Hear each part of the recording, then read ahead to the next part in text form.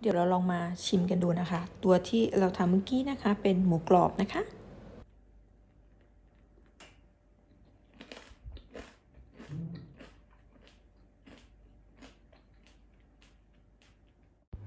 สวัสดีค่ะ เดี๋ยววันนี้เราจะมาทำหมูกรอบนะคะ แอลไปดูใน YouTube นะคะ มันจะเป็นสูตรของเชฟแก้วนะคะ เชฟแก้ว MasterChef นะคะ เขาทำหมูกรอบภายในเวลา 55 นาทีนะคะ แอลก็เลยลองทำดูนะคะ มีหมูสามชั้นมานะคะ ล้างทำความสะอาดให้เรียบร้อยนะ แอลก็ใช้ซ่อมอะค่ะไปคล้ายซ่อมอะค่ะ จิ้มทั่วให้ให้ทั่วหนังเลยนะคะ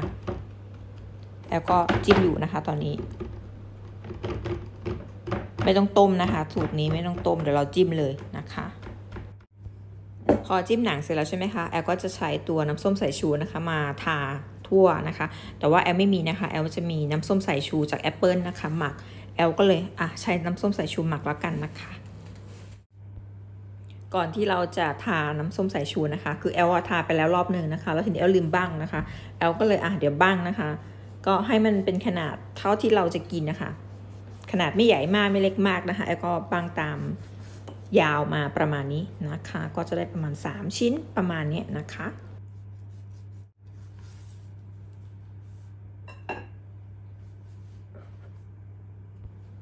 จากนั้นนะคะแอลก็ใช้น้ำส้มสายชูหมักนี่แหละค่ะ ทาให้ทั่วเลยนะคะ จริงๆอะมันควรจะใช้น้ำส้มสายชูปกตินะคะแต่ว่าที่บ้านไม่มีเลยก็เลยอะเดี๋ยวเราใช้น้ำส้มสายชูหมักแทนแล้วกันนะคะ ก็ใช้แปรงนี่แหละค่ะ ทาให้ทั่วนะคะ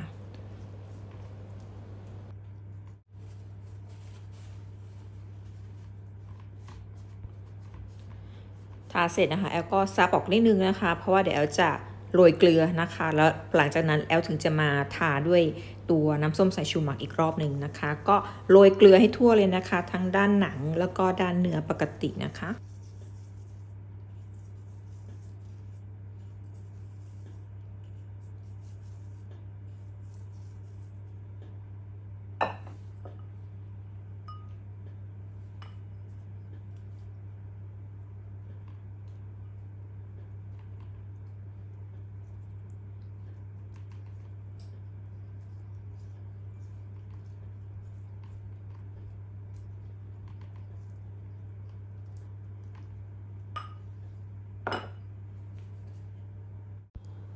จากนั้นนะคะแอลจะเอาใส่ถาดอบนะคะ เพราะว่าเดี๋ยวสูตรนี้นะคะ เราจะต้องเอาไปอบนะคะแอลอบที่ไฟแบบเปิดพัดลมนะคะ 230 องศานะคะ ประมาณ 30-40 นาทีค่ะ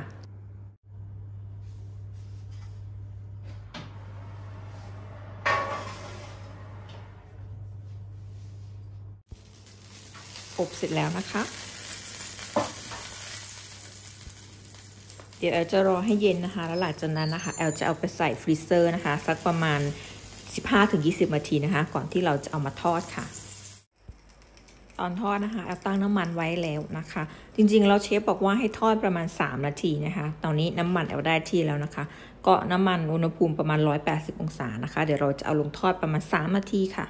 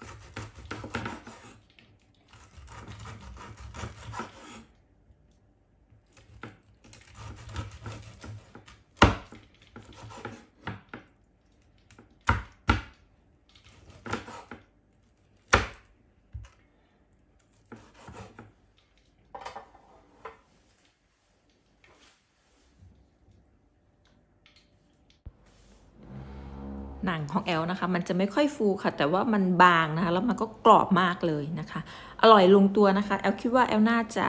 ต้องจิ้มหนังให้มันเยอะกว่านี้นะคะ มันเวลาทอดมันจะได้พองมากกว่านี้นะคะ ทีนี้นะคะก็เอามาทำเมนูต่อไปเลยนะคะ แอลจะใช้เป็นคล้าย ๆ กับกะหล่ำปมนะคะ มันจะคล้าย ๆ กับคะน้าค่ะ จะเอามาลวกก่อนนะคะ ลวกในน้ำเดือดจัดเนาะแล้วก็หลังจากนั้นจะเติมเกลือลงไปนิดนึงนะคะ แล้วก็เติมน้ำมันมะกอกนิดหน่อยนะคะ เพื่อสีของผักจะได้เขียวอยู่นะคะ เราลวกไม่นานนะคะ ประมาณ 4-5 นาทีก็เสร็จนะคะ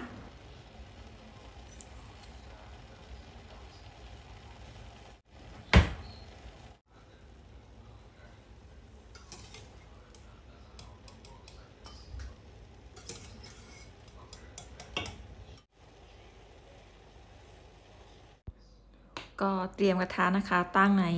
ไฟนะคะ แล้วก็ใส่น้ำมันพืชลงไปนิดหน่อยนะคะ ประมาณ 1 ช้อนโต๊ะนะเดี๋ยวเราจะเอามาเอาหมูกรอบนะคะมาผัดนะคะ พอน้ำมันร้อนนะคะแอลก็ใส่ทุกอย่างลงไปเลยนะคะ มีพริกนะคะ แล้วก็กระเทียมนะคะ แล้วก็มีหมูกรอบที่เราทำเมื่อกี้นะคะแอลก็หั่นชิ้นประมาณพอคำนะคะ พอดีคำเนาะไม่ใหญ่มากไม่เล็กมากนะคะ ก็ผัดไปสักประมาณแป๊บเดียวค่ะ ผัดไม่นานเนาะแล้วก็ หลังจากนั้นก็ปรุงรสนะคะปรุงรสเนี่ยแอลใช้ซอสแบบอย่างละนิดอย่างละหน่อยที่มีในบ้านนะคะ จะมีซีอิ๊วดำนะคะซีอิ๊วดำหวานเนาะแล้วก็มีซอสหอยนางรมนิดหน่อย แล้วก็มีซีอิ๊วดำปกติเนี่ยแหละค่ะแล้วก็น้ำตาลทรายนิดนึงนะคะแค่นี้นะคะ แล้วก็หยดน้ำปลานิดหน่อยนะคะ ประมาณนี้ค่ะผัดไม่นานนะคะ เสร็จแล้วค่ะ ก็ผัดไปสักพักนึงนะคะ แล้วก็เติมน้ำซุปนิดหน่อยนะคะ หรือน้ำเปล่าก็ได้นะแล้วก็ หลังจากนั้นนะคะ เราก็จะเอาผักที่เราลวกไว้อะค่ะใส่ลงไปเลยค่ะ แล้วเราผัดแป๊บเดียวนะคะ ไม่เกิน2นาทีก็เสร็จแล้วนะคะ เพราะว่าผักมันสุกแล้วนะคะ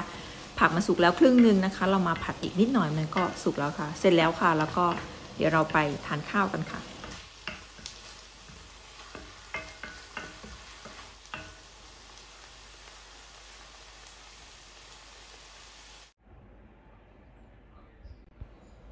นี่ค่ะตักข้าวใส่จานแล้วค่ะจัดจานเรียบร้อยแล้วนะคะ วันนี้หิวข้าวมากเลยนะคะ ก็เป็นหมูกรอบสูตรง่ายๆนะคะ เป็นสูตรของเชฟแก้วมาสเชฟนะคะ ลองทำกันดูนะคะ วันนี้นะคะก็ไปแล้วนะคะ ขอให้เพื่อนๆมีวันที่ดีๆนะคะ แล้วก็มาเจอกันใหม่นะคะสำหรับวันนี้ สวัสดีค่ะ